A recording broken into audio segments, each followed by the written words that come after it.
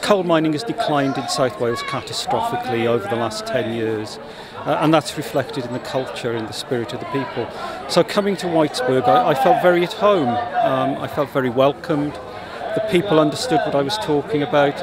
Uh, you know, we could get on very well, very friendly and welcoming. Uh, the music is absolutely, absolutely outstanding. And, and I have heard such amazing musicianship over the last, last two or three days. I mean, people should be so proud of their musicians and so proud of their heritage because it's something worth valuing and treasuring. Local businesses have been seeing the benefits of the festival drawing tourists into Whitesburg a lot of our sponsors are local businesses, so you know they they gave to this festival. But I think with all of the people coming in from out of town, and also just people even from from town coming out and supporting all the local business, um, we've had a lot of uh, word from Heritage Kitchen and the Thirsty Heifer. They've had a lot of business with this influx of, of folks coming in um, and being busy around town. We're trying to bring people not just to the Appalshop grounds, but to downtown Whitesburg.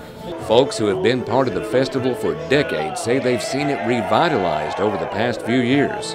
It's fluctuated over the years. Some years we've had great big crowds. Other years it's uh, it's like you couldn't pay people to come. Uh, this year's uh, running about normal for the past several years. Pretty good sized crowd, especially for a hot day like today and yesterday was.